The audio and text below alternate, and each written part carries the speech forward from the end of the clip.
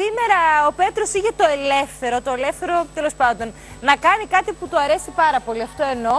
Και σαν γεύση είναι μια συνταγή που την αγαπάς πολύ.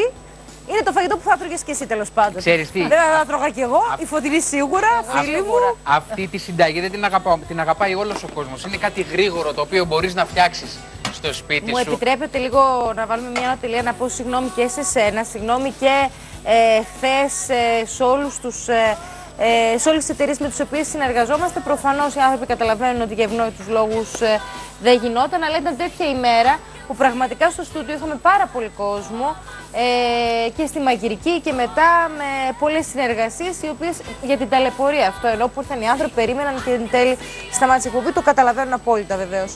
Και Όλοι εσύ μας, που είχε όλοι μας. ετοιμάσει χθες λόγω τσικνοπέμπτης διάφορα.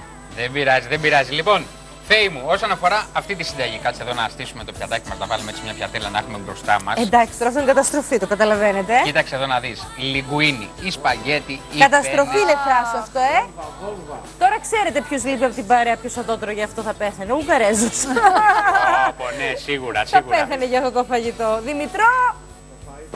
Το φαΐ του θα ήταν αυτό. Α, Δημητρό μας. Γιατί έχει μέσα και μπέικον. Έχει και μπέικον, έχει και κοτοπουλάκι. Συνταγή, ξαναλέω, που τη φτιάχνουμε Να στο σου βάλω σπίτι μας. κορίτσι μου, βέβαια, Απλά και πολύ θέλω τώρα. να δείξω τον τρόπο που την κάνω εγώ, γιατί είναι διαφορετικός ο τρόπος. Τι για να εννοείς; πε- για να Βάζεις και μπέικον και κοτόπουλο, ε; Μπέικον, κοτοπουλάκι, λίγο παρμεζάνα γιατί θε- και, και βάζω και λίγο μανιτάρι. Ε, Περίμενα να ταιριάζουν, σερβίρω εγώ το κορίτσι. ταιριάζουν όλα αυτά. Λοιπόν, όσο σερβίρουμε για να φάνε τα κορίτσια μας εδώ και, και ο Τάσος θα φάει και ο Γιώργος θα φάει, όλοι θα πάνε. Έχουμε κάνει τόσο πολύ φαγητό. Ο Τάσος μου πού είναι; Πάμε λοιπόν Τουλάχιστον. ε, να δούμε τα υλικά μας για να κάνουμε αυτό. Να το πούμε αλακρέμ, να το πούμε αλφρέντο, να το πούμε όπως και να το πείτε. Η γεύση είναι αυτή ε, και είναι εξαιρετική. Θα χρειαστούμε 600 γραμμάρια λοιπόν φιλέτο από στήθο κοτόπουλο, δύο κουταλιές σούπας ελαιόλαδο, λίγο βουτυράκι. Αν θέλετε, έτσι ξέρετε ότι το βουτυράκι έχει λίγο. Τι; Τίποτα. κάνουμε Και κάτι. μου κάνει νόημα, δηλαδή δεν υπάρχει. Μου κάνει νόημα τι μου έκανες; Κι άλλο, κι άλλο, βάλε κι άλλο. Σου λέει, Βάλε κι άλλο, βάλε κι άλλο. χαίρομαι, χαίρομαι πάρα πολύ. Λοιπόν, βάζουμε όπως είπαμε στήθος κοτόπουλο. Μπορείτε να βάλετε και μπουτάκι εσεί, άμα θέλετε. Ή αλλιώς να σας πω και ένα κολπάκι. Έχετε, έχουν μείνει τα κρέατά σας από χθες. Θράσο, Αυτό. έψες, τσικνοπέμπτη έκανες. Μην τα λίγα κρεατάκια. Έψες. Ξεψαχνίστε τα και βάλτε τα μέσα σε αυτή τη συνταγή. Εντάξει, για να μην τα πετάξουμε ή να μην φάμε το ίδιο με χθες. Ε, ωραία ιδεούλα. Λοιπόν, στη συνέχεια, είτε λιγκουίνι, είτε φετουτσίνι, είτε πένες, είτε σπαγκέτι, ό,τι, ό,τι, μα ό,τι θέλετε εσείς. Βάζουμε λίγο μπέικον, λίγο μανιτάρι και στη συνέχεια θα χρειαστούμε ένα κρεμμυδάκι. Βάλτε το το κρεμμύδι. Δεν βάζουμε μόνο όταν κάνουμε αλα κρέμ, μπέικον και κοτόπουλο και αρκεί τέλος. Βάλτε κρεμμυδάκι, θα δείτε τεράστια διαφορά. Κρεμμυδάκι λοιπόν, λευκό κρασί, σκόρδο, κρέμα γάλακτος, παρμεζάνα και μαϊντανό. Αν θέλετε και δεν θέλετε να βάλετε κρέμα γάλακτος, βάλτε λίγο γάλα με λίγο περισσότερη παρμεζάνα για να έρθει να δέσει όλο αυτό. Εντάξει. Λοιπόν, φτάσαμε εδώ. Να βάλουμε και λίγο τυράκι από πάνω, έτσι, έτσι ακριβώς όπως τη σερβίρουμε σπίτι μας. Και όταν λέω έτσι ακριβώς, και με το τυρί να πέφτει έτσι και με λερωμένη πιατέλα εδώ. Το βλέπεις, Τράσο, με λερωμένη πιατέλα. Τα κάνουμε εδώ στην άκρη. Τέλεια και πάμε να ξεκινήσουμε τη συνταγή μας. Έχω κόψει το κοτοπουλάκι, το στήθος κοτόπουλο Μαγεία λοιπόν. είναι. Πώς είναι, Μαγεία. Φανταστική. Ό,τι πρέπει ήταν. Λοιπόν, κάτσε να ανοίξω τα ζυμαρικά μου μέσα. Λιγκουίνι εγώ ε, είχα στο ντουλάπι μου. Λιγκουίνι βάζω. Αν θέλετε, μπορείτε να βάλετε οποιοδήποτε Έβαλες ζυμαρικό γάλα. θέλετε εσείς. Έχω Τι βάλει θέμα. λίγο γάλα εκεί, ναι.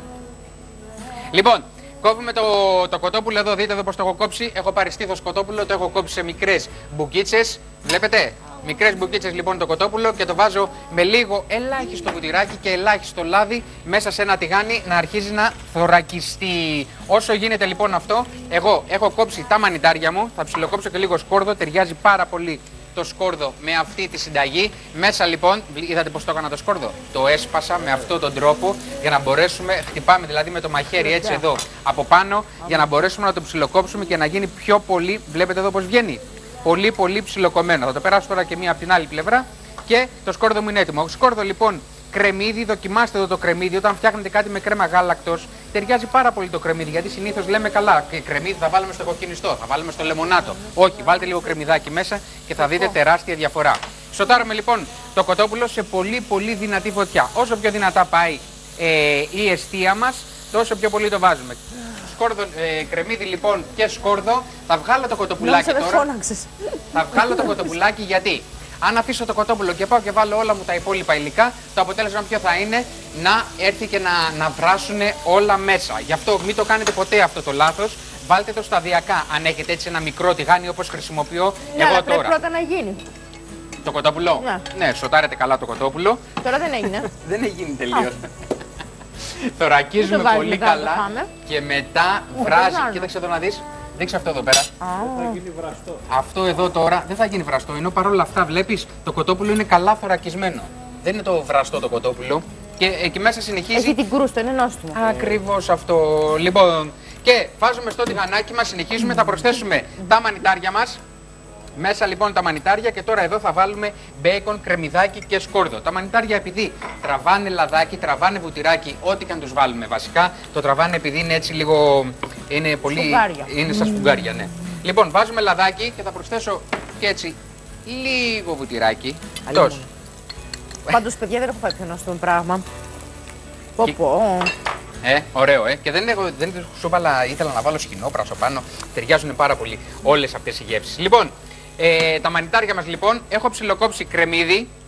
Μέσα λοιπόν βλέπετε τα βάζω σε αυτό το στάδιο. Το Αρχικό μπέικον με τα στάδιο. μανιτάρια το κάνεις πρώτα πριν, γιατί εδώ βλέπω έχεις έτοιμο. Όχι, είχα κάνει προετοιμασία για να το έχω όταν έρθετε. Πρέπει. Είναι καθαρά θέμα προετοιμασίας. Άμα θέλεις, μπορεί να τα έχεις και όλα προετοιμασμένα και με το που, έρθουν, ε, με το που έρθει και κάτσει η Επειδή μου οικογένεια λες στο το τραπέζι. κοτόπουλο ότι πρέπει. Ναι, Το καλό κοτόπουλο είναι, ναι. γιατί- Το μπέικον, κοίταξε να δεις, θέλει περισσότερο χρόνο. Θέλει. Ε, ναι, ναι, ναι, το θέλει το χρόνο του για να γίνει έτσι ωραίο κρύφτη, να πράγμα. γίνει, να γίνει τραγανό. Αλλιώς θα γίνει και αυτό βραστό. Αν θέλετε λοιπόν, μπορείτε να βγάλετε όταν θα σοτάρετε το μανιτάρι να το αφαιρέσετε και αυτό να το βάλετε στο ίδιο Σκάλο, πιάτο με το μόνο κοτόπουλο μόνο, και να μετά πάμε, θα πάμε να να τα πάμε. ενώσουμε όλα αυτά μαζί. Λοιπόν, σοτάρουμε πολύ καλά εδώ. Κρεμμύδι με λίγο βουτυράκι, λίγο λαδάκι, θα βάλω λίγο λαδάκι ακόμα, λίγο λαδάκι, το μανιτάρι μας και ρίχνουμε μέσα και το μπέικον. Επειδή βιάζομαι εγώ τώρα, ρίχνω επί τόπου το μπέικον. Επειδή είναι μικρό το τηγάνι μου, σε άλλη περίπτωση θα το είχα αφαιρέσει και θα το είχα βάλει σε ένα πιάτο. Φωτεινή, πώ ήταν, μπορεί να μου δείξει λίγο το πιάτο σου; Και εγώ Συγκλονιστικό. το δικό μου παιδιά δύο φορές. Ε, Και θα το λίγο, γεμίσω λίγο. και μετά μην κοροϊδευόμαστε. Με ρωτάτε καμιά φορά πώς ήταν η συνταγή. Λοιπόν, ε, είναι με άριστα το 10-50%. Ναι. Ευχαριστώ πάρα πολύ. Είναι να διαβάσω νούμερο ένα λίγο στο ακόμα top μία five. φορά εγώ τα υλικά. Ε, για 500 γραμμάρια λιγκουίνι ή φετουτσίνι ιδανικά, εντάξει και σπαγγέτι να Ό,τι βάλετε ό,τι θέλουμε, θέλετε. ό,τι θέλουμε. Αλλά ουσιαστικά 500 γραμμάρια είναι μια συσκευασία; Όχι. Ναι, δύο. μια συσκευασία. Μία είναι, Ναι, ναι, 500. Ναι, μισό πλέον είναι συσκευασία, ωραία. Λοιπόν, 600 γραμμάρια φιλέτο στήθος κοτόπουλο το οποίο το κόβει σε μικρά κομματάκια. Δύο κουταλιές σούπας λαδάκι βουτυράκι. Ε, 8 φέτες μπέικον και εγώ πάρα πολύ. Ε, πάρα πολύ ωραίο όμως. 18.000 θερμίδες στο Όχι, Ωραία, όχι, φάε κάνεις μία, λάθος. φάε μία Κάνεις λάθος, μπουκιά. Γιώργο. Μία. Πάω κανένα πιάτο κανονικό, όχι μπουκιά. Α, εντάξει. Έξι μανιτάρια. Έξι μανιτάρια. Ε, Εφτά. Μας είπες ότι το φιλέτο το θέλεις μόνο του, ε, μόνο του λίγο να Ωραία. ε, τηγανιστεί. Ένα κρεμμύδι, λίγο κρασάκι. Το έβαλες στο κρασάκι; Τώρα το βάζω. Κοίταξε με, ρίχνω το σκόρδο μέσα και τώρα θα Μία ανακατέψω. σκυλίδα σκόρδο. Και τώρα θα ρίξω το κρασάκι. Το κρασί και ουσιαστικά μετά είναι η παρμεζάνα και η κρέμα γάλακτος. Μπράβο, πολύ 450 ml. 150 γραμμάρια η παρμεζάνα και αν δεν θέλετε να βάλετε την κρέμα γάλακτος μπορείτε να βάλετε γάλα αλλά να βάλετε περισσότερη παρμεζάνα για να δέσει. Πολύ σωστά. Και κοίταξε να δεις με το που βάλεις την κρέμα γάλακτος εδώ μέσα τη βάζω, αλλά όπως σου έδειξα έχω έτοιμο εδώ και επιτόπου όπως είμαστε φέοι πάμε και παίρνουμε όπως έχουμε πει Η πολλές κρέμα φορές. γάλακτος γενικά σαν συστατικό ε, μ, θέλει... ε, Πόση ώρα την έχουμε στη φωτιά, δηλαδή το ιδανικό τυρί. Η μαμά μου πάντα την έβαζε στο τέλος για πάρα πολύ λίγο. Μπράβο. Είναι αναλόγως στη συνταγή θα κάνεις. Άμα βάλεις μεγάλη ποσότητα, πρέπει να την αφήσεις να, τη- να κατέβει, όπως λέμε, ε, στις κουζίνες. Δηλαδή Δεν- να τη δεν, ε, φράσεις λίγο και να δεις ότι αρχίζει να κοχλάζει. Τότε είναι έτοιμη να απορροφήσει. Δεν χαλάει η σύστασή της. Όχι, να όχι, κόψει που λέμε. Άμα την Μου αφήσεις έχει πολύ, ναι. τύχει. Άμα την αφήσεις και έχει πολύ, γίνει ναι. βούτυρο, παιδιά. Εννοείται, γίνεται το έχω βούτυρο. ξεχάσει, το έχω ζήσει. Όπως και αν τη χτυπήσεις πολύ, πάλι γίνεται βούτυρο στο μίξερ. Ε, αντίστοιχα.